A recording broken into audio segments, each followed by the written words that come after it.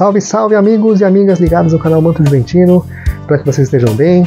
Espero que vocês também estejam aí nesse momento é, comemorando, celebrando o aniversário do Juventus, o centenário do Clube Atlético Juventus da Moca, que completa em abril agora, 20 de abril completou seus 100 anos de vida, seus 100 anos de história. Semana passada nós mostramos aqui no nosso unboxing para comemorar justamente essa data, esse centenário, para ficar isso uma memória inesquecível, uma festa especial. O unboxing também foi especial, uma camisa antiga lá dos anos, dos anos 70, né? Uma camisa de algodão, grosso, tudo mais, você viu semana passada. Essa semana a gente vai também continuar na mesma vibe aí, na, no mesmo estilo, com outra, outro material. Também foi enviado pelo Robson, que enviou aquela camisa antiga dos anos 70 e ele enviou também pra gente esse outro material, que é no caso, você vai ver, olha aqui ó, um belíssimo agasalho, senhoras e senhores. É. Anos 70 também. Fabricado pela malharia Olimpíadas. Tá aqui na etiqueta.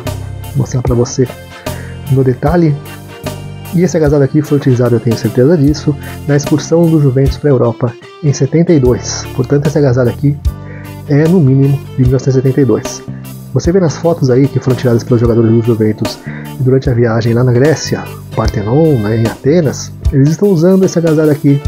Né? No, o, o elenco está usando, o Oscar Amaro, o zagueiro está aí na foto, utilizando exatamente uh, um, um casaco igualzinho esse aqui. Então é um casaco realmente com um peso aí da história de ter participado dessa viagem.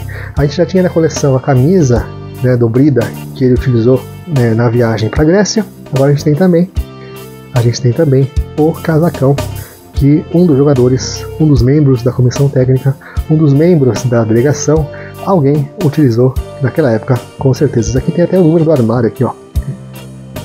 Número 16. Se alguém ligado aos jogadores, aos membros da comissão técnica, da diretoria da época, souber quem era o 16, a gente consegue investigar melhor ainda a origem desse belíssimo casaco. Olha que símbolo sensacional, hein? Que escudo lindo bordado nesse agasalho de 1972, né? Bacana demais. Então, para comemorar bem em grande estilo o aniversário do Juventus, esse centenário, a gente traz esse unboxing especial. Tenho certeza que você gostou como eu gostei.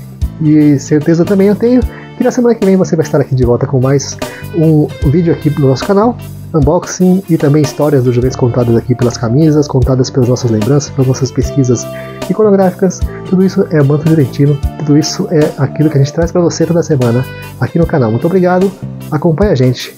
Eu espero que você goste. E se você gostar, volte aqui semana que vem tem mais. Valeu, obrigado, tchau.